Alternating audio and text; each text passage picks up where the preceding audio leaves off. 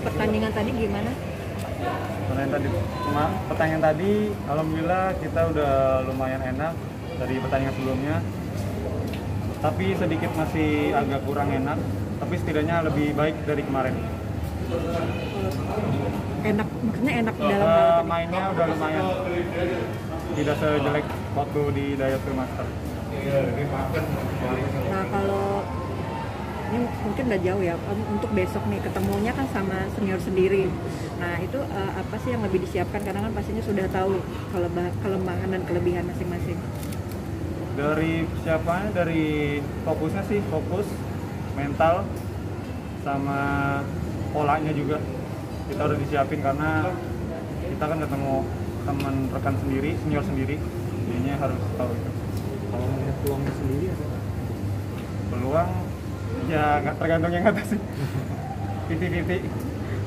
Biasanya pelatih ada ini nggak sih eh, ngasih bocor-bocoran gitu kalau lawan si A begini gitu.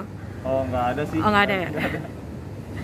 Kalau yang disiapin eh, buat ngadepin Fajarian karena kan Fajarian eh, bisa dibilang penampilannya konsisten dan sering sering masuk final gitu. Itu eh, apa sih yang lebih kalian fokuskan untuk menghadapi mereka? Ya daya jangan gampang menyerah sih di lapangan semangatnya harus di ini karena dia kan konsisten kita harus lebih semangat lagi daripada dia. Nah setelah kalian menang All England eh, kan kalian belum belum dapat gelar lagi ini eh, apakah ada kendala maksudnya dalam apa kalian merasa kayak ada beban atau ada hal-hal tertentu di luar itu?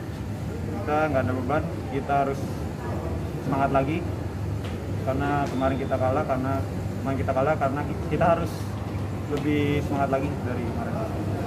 Target. Tadi lawan sempat keluar lapangan itu ada apa sih kalau boleh tahu?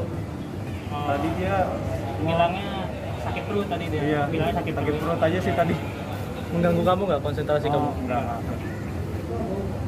Dari Koheripe kan bilang eh, Marcus Kevin tidak terlalu dibebani target jadi ini kesempatan buat ganda putra muda untuk bisa eh, apa, bersinar gitu. Nah ini menurut kalian gimana dan target kalian pribadi di Indonesia Open apa? target kita ya main semaksimal mungkin lah se- sebagus mungkin Eh, target kita ya cuma itu aja nggak bisa lebih Dengan tadi yang dibebankan dari dari coach Harry Bay sendiri, kalian sendiri nanggepinnya gimana? Di Indonesia Open ini. Nah, maksudnya gimana Ya karena kan bukan coach Harry kemarin bilang bukan pakai Kevin atau Oh. tapi main muda kan. ya mungkin Koheri IP mungkin sekarang ada dia mulai percaya pada pemain muda-mudanya ya karena hasil yang sebelumnya mungkin menyuruh kami pemain muda untuk menunjukkan hasil yang terbaik di sini Gak ada beban dari kalian. nggak ada beban Tapi nggak ada target spesifik ya misalnya dari awal "Ah, kalian sampai babak sekian sampai sekian gitu nggak ada seperti itu.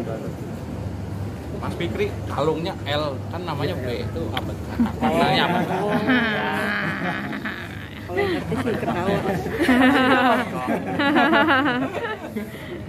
Mungkin berdua aja pertanyaannya. Oke deh. Lia mama saya Ada makna khusus nggak? ya sekalian oh, Oh. ya. Oke deh. Yaudah, Ya, terima makasih kasih ya. ya.